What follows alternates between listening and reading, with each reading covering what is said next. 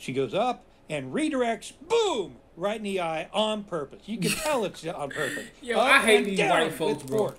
Right in the eye. I hate these white folks, bro. Just because somebody get lose and get locked up doesn't mean she got intentionally fouled, bro. Come on, bro. Y'all be doing too much. Y'all be over exaggerating. Like, come on, white folks. Come on, bro. I love Caitlin Clark too, but come on, white folks. Bro, do I think it was an intentional foul? No. Do I think Cur- was trying to be extra careful when she went up for the block? No, bro. It's basketball, bro. We can't keep doing this, bro. People gonna stop watching this shit. Y'all keep doing that, bro. I can't keep just blaming. Come on, bro. Like, this shit be tweaking me out, but bro, we came in for the actual game itself, bro. Look, bro, I'm not even gonna lie, bro. I'm keeping it 100. Bonner locked up Caitlin. And in the beginning of this game, bro, Bonner was going off. Like, she was going, like, she couldn't miss from three. And I actually covered Bonner in the video earlier when they, Caitlin first game, Bonner was going off. But, bro, Bonner was talking about locking Caitlin up, bro. Caitlin played, I don't know what was going on with Caitlin last night, bro. She was two from 13 from three, bro. Like, four from 17 from the field. I'm talking about it was looking nasty, nasty work. Like I said, bro, Caitlin Clark, it was just nasty work tonight, bro. She only made four field goals out of 17, bro. She had 11 points.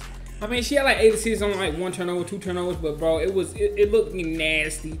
Bonner was just locking shit. But Leah Thomas had another triple double, bro. I'm gonna lie, the Suns look good. I don't know if they can beat a New York Liberty or like a Las Vegas Las Vegas Aces, bro. But I think they have a good chance, bro. Cause hey, Mabrey, Mabrey, Mabrey came from, bro. She came from Chicago. I ain't gonna lie, bro. Mabrey can really be the X factor. Mabrey be shooting threes like she carried for real. I'm talking about Mabrey. Mabrey different. I ain't gonna lie. I was watching that game. I was like, damn, Mabrey really tough. Cause Mabrey come off the bench. Maybe don't even start. But bro, somebody come out the bench and go get you 27, 30 points. It's gonna be tough to stop, bro. I'm, gonna, I'm ready for game two, but bro, I'm gonna lie. Caitlin gonna have to come in game two and not miss 13 threes. Well, you cannot miss 13 threes, Caitlin Clark. And that's not, and that was not a per, like unintentional foul. Like, come on, y'all gotta stop doing this with this Caitlin Clark stuff, bro. Let the girls play ball, bro. Let them play ball. Caitlin not complaining. Why is y'all complaining? Like all these videos, I guess it's just the internet, bro. I understand, but bro, Caitlin gotta come in the next game and not worry about what happened first game. Come in and play her game, bro. It's gonna be hard to beat Bonner,